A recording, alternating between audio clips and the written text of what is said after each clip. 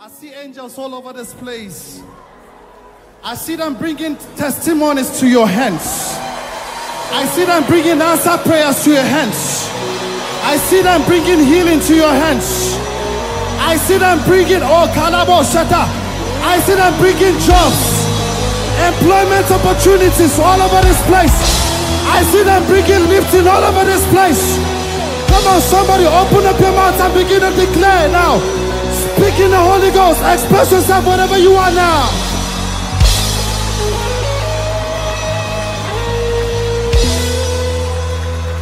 Call it forth. Call it forth now. The Bible said, For I have given you the power of the tongue. Whatever you decree here on earth is made established in heaven. Do you believe it now? Father, we thank you.